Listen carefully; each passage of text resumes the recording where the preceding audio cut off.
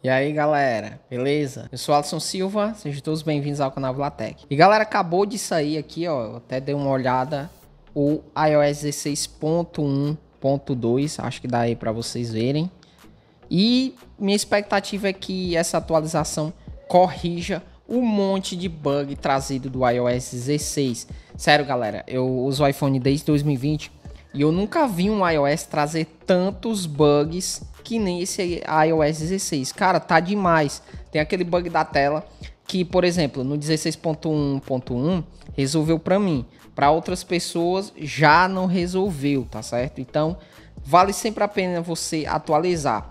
E para tá ocorrendo várias atualizações assim, iOS 16.1, iOS 16.1.2, é porque a Apple realmente tá sabendo desse monte de bugs e tá tentando correr atrás do prejuízo. O bacana é isso, né? Essa questão de atualizações da Apple. Ela sempre manda atualização. Se aparecer um problema, ela manda. Outra coisa também que, cara, tá me chateando demais são alguns bugs específicos que eu vou te falar hoje. E eu espero que você também comente aqui se esses bugs estão acontecendo com você também. Já deixa o like aqui nesse vídeo, se inscreve no canal e ativa o sininho de notificações. Sapeca a vinheta.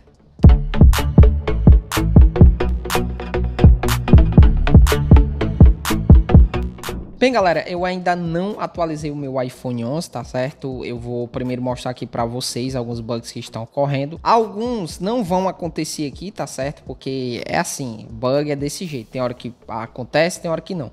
Mas vou tentar explicar aqui para vocês, certo? O primeiro deles que eu vou relatar para vocês é aqui no teclado Swift Key. Ó, tá vendo? Ele tá dando essas piscadas. Eu não sei se a gravação de tela vai pegar isso, eu espero que sim. Mas, ó, ele fica piscando, ó. Parou agora, ó. Deixa eu voltar aqui. Vou abrir uma outra nota aqui. Vou colocar aqui alguma coisa. Beleza. Vou começar a digitar aqui, ó. Certo? E aí você tá digitando aqui de boa. E aí de repente ele para de digitar como se ele quisesse trocar de teclado. Cara, tá muito chato isso daqui. Isso daqui já acontecia no iPhone 11 da minha mulher e começou a acontecer tá com um ou dois dias aqui no meu. Aquele bug lá da tela que não voltava mais, é, ele parou de acontecer no iOS 16.1.1, mas algumas outras pessoas relataram que não, não parou. E outra coisa também com relação ao teclado. Às vezes eu vou digitar, por exemplo, alguma coisa aqui, ó. E aí o teclado ele diminui de tamanho. Ainda é um bug aí que eu falei para vocês. Ainda é aquele bug que eu acho que eu até falei em um vídeo. Ainda tá acontecendo. Mas o pior de todos, galera, que enche o meu saco, cara, é aquela mensagem pop-up perguntando se eu permito copiar e colar ou não.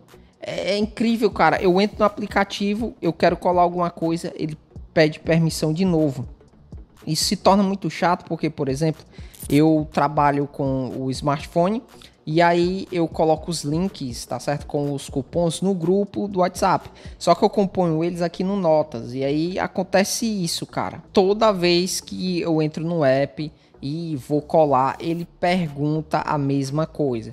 Aí eu até ensinei vocês em outro vídeo, né? Pra, por exemplo, é, deixar copiar e colar e ficar nas configurações. Só que essa opção ela não está habilitada para todos os aplicativos. Isso acontece muito no aplicativo Notas. Daí eu vou lá no Notas, ó, aqui através das configurações.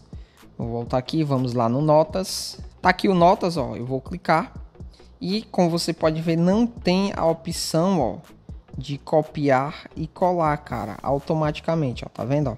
Não tem essa opção aqui. Ainda bem que outros apps têm, por exemplo, o Banco Inter eu já identifiquei que tem. Pronto, essa opção aqui, ó, colar de outros aplicativos. Eu queria que isso daqui tivesse também em outros aplicativos. Será que vai chegar aqui no iOS 16.1.2? Eu não sei. Eu vou aqui, ó, na parte de atualizações, para vocês verem aqui o changelog. O changelog diz aqui que corrige alguns bugs, tá certo? Algumas melhorias no iPhone e melhorar aqui a compatibilidade com rede sem fio. E aqui tem algumas informações para o iPhone 14 e 14 Pro. Espero que essa atualização melhore o aparelho porque tá um saco. Se você for olhar os outros vídeos que eu gravei sobre os bugs do iOS 16, Tem várias pessoas relatando que tem iPhone travando, a tela dá aquela congelada, como já mostrei aqui para vocês. Sinceramente, galera, desde quando eu uso o iPhone, o, no caso o iPhone 11, eu nunca tive assim tanta raiva de, desses bugs, cara, sabe? Começa a incomodar, é uma coisa que começa a incomodar, não sei com você, mas comigo começa a me incomodar. Dá para usar o aparelho de boa, ele ainda é rápido e tudo, mas é uma coisa que, cara, não era para ter, não era para acontecer, tá certo? A Apple tá correndo atrás aí do prejuízo. Vamos esperar e ver se realmente isso vai resolver. É importante que você comente aqui alguns bugs que você tá tendo para compartilhamento mesmo e fazer com que a empresa fique sabendo disso. Né? Se ela tá lançando essas atualizações aí, é porque tem muita gente reclamando. Me segue no Insta se você quiser falar por lá, tá certo? Arroba Vilatec, por lá você tem novidades do canal em primeira mão. E também você pode me fazer uma pergunta sobre tecnologia, eu te respondo mais rápido que eu puder. Para economizar essas compras online, é só você entrar no nosso grupo de cupons de desconto e ofertas diárias. Vou sair fora agora, fiquem com Deus e até o próximo vídeo. Falou!